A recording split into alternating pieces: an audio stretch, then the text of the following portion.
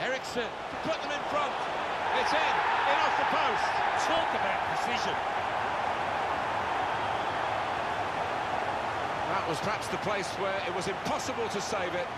No uh, goalkeeper could have reached that. It clips the post on the way in. Yeah, really good.